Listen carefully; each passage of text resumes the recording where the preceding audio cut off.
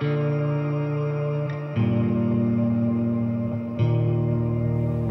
was a man named John who was preaching and baptizing in the wilderness.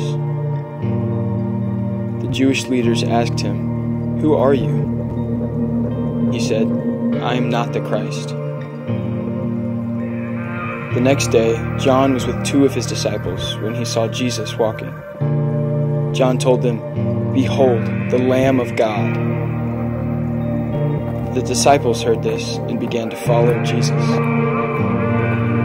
Jesus turned.